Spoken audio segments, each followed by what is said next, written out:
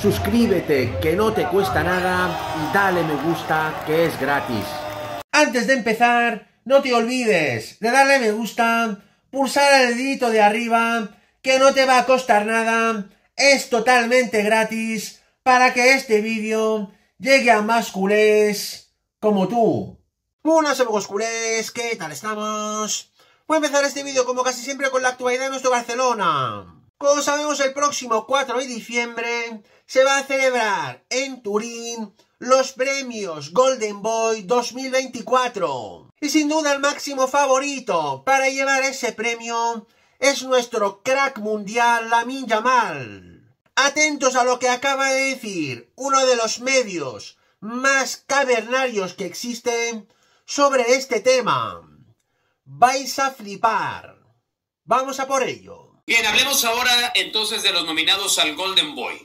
Vamos a meternos en aquellos nombres que después incluso podemos hacer una estadística de cuántos fueron nominados, cuántos ganaron el premio al Golden Boy y cuánto su carrera después se fue al carajo, por no decirlo de otra manera. Acá creo que por lo menos la muestra nos da un poco de más esperanza de que eh, Cubarsí, su irrupción en el Barça, Garnacho en el United y la selección argentina, Joao Neves, Saviño con Girona y ahora en el City, Arda Guller, Conate, eh, Kubi Meinu, Matthias Tell, Lamin Yamal y Warren Seremeri, que tuvo además un torneo eh, fantástico por donde, por donde se le quiere ver, pues son los nominados al Golden Boy. Y a veces, muy, veíamos el premio al Golden Boy como esperanzas, futuro. Muchos de esos futbolistas ya son el presente, tanto para sus clubes como sus selecciones. ¿Quién de ellos para ti te parece que ha tenido la mejor temporada? Hombre, yo creo que por edad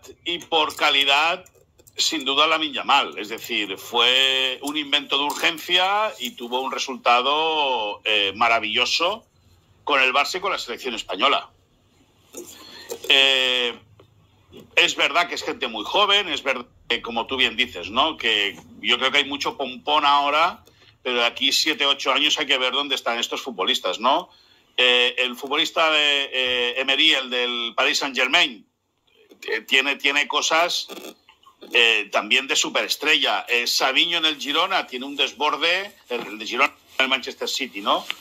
tuvo un arranque de temporada fulgurante, parecía que era un castillo de esto de, de, artificio, ¿no? Fue de artificio, de mucho color al principio y que luego se iría pagando. Y fue vital para que el Girona pelease hasta el final casi por la española y que eh, hiciese la temporada eh, maravillosa para meter al Girona por primera vez en su historia en la UEFA Champions League. Yo, a mi modo de entender, y creo que, eh, que Lamin tiene, debería tener muchas opciones para ganar el título, más allá, más allá de colores y más allá del club y más allá de que juegue en el Barça, es absolutamente, eso es absolutamente igual. Es decir, al final lo que hemos de ver es que es un chico de 17, 17 años recién cumplidos que hace cosas de jugador veterano, de futbolista de 26, 27 años y lo hace con una naturalidad aplastante.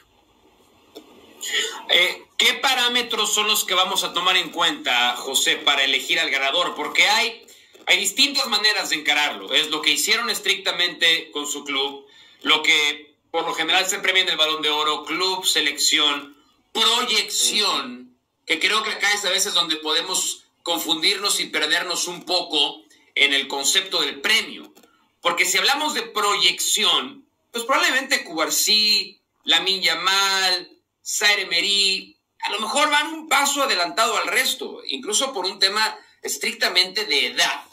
Pero, ¿qué tomas tú en cuenta para decir este o este son mis favoritos a quedarse con el premio? Yo tomaría en cuenta rendimiento, regularidad, consistencia, peso específico y la injerencia que tienen en sus respectivos equipos. Y yo no me voy a alargar tanto como Moisés Llorens, para mí está clarísimo. Oh. Este premio lo merece Lamin Yamal el fútbol de hoy paga por el desequilibrio, por la gambeta, por la magia. Lamin Yamal tiene todo eso. Además, eh, es difícil destacar cuando las cosas no vienen bien. Y se encontró un Barcelona mediocre que no peleó por absolutamente nada. Y dentro de ese contexto y ese entorno tan tóxico, tan malo, Lamin Yamal fue la luz al final del túnel. Así como el mundo paga por los Vini, por los Lamin Yamal, estos premios van destinados a este tipo de futbolistas. Y eso no va en detrimento de, de la valiosa labor que hacen los guardametas, los defensas, los mediocampistas en la sala de máquinas, pero el fútbol se paga por eso, por la magia y la Minya Mal tiene ese distintivo, lo va a ganar el futbolista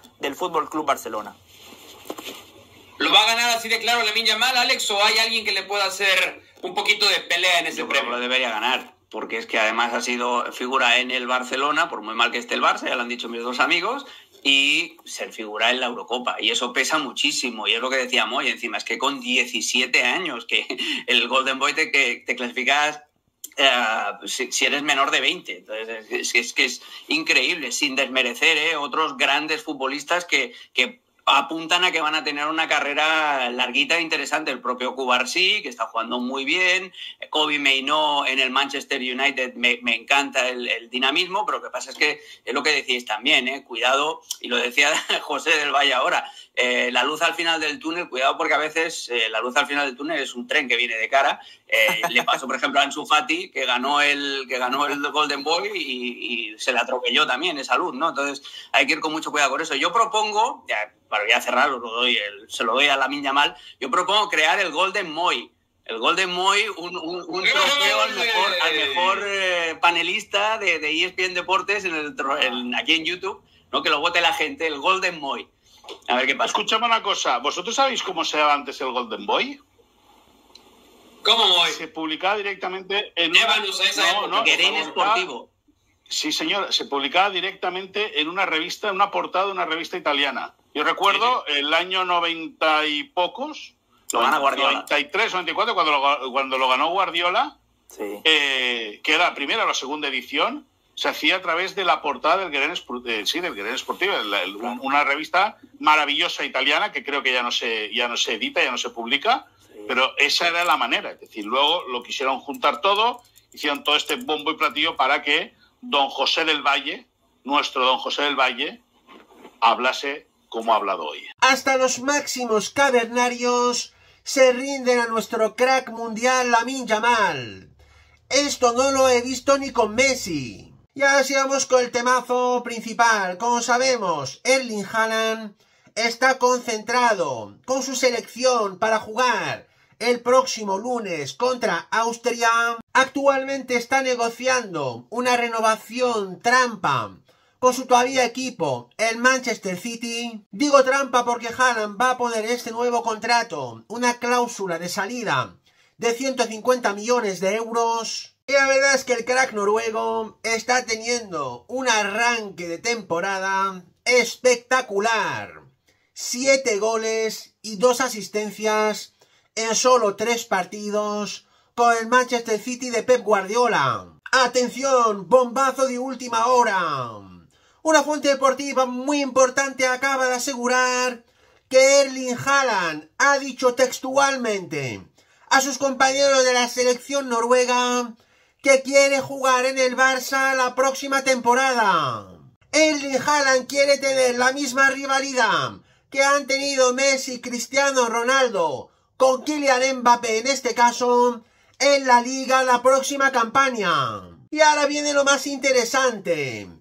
La misma fuente afirma que Jean Laporta ya tiene todo atado para que Erling Haaland sea nuevo jugador del Barça la próxima temporada y sustituto de Robert Lewandowski que iría a Arabia Saudí. Jean Laporta quiere que el fichaje de Erling Haaland sea el gran argumento para ser elegido nuevo presidente del Barça.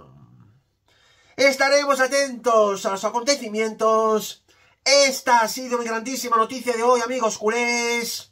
No os olvidéis suscribirse a mi canal, que no os cuesta nada. Pulsar un like como siempre. Y dejarme comentarios para cambiar opiniones. Muchas gracias. Forza Barça por siempre. Vamos a por todas. Y nos vemos muy pronto en mi próximo vídeo. ¡Vamos!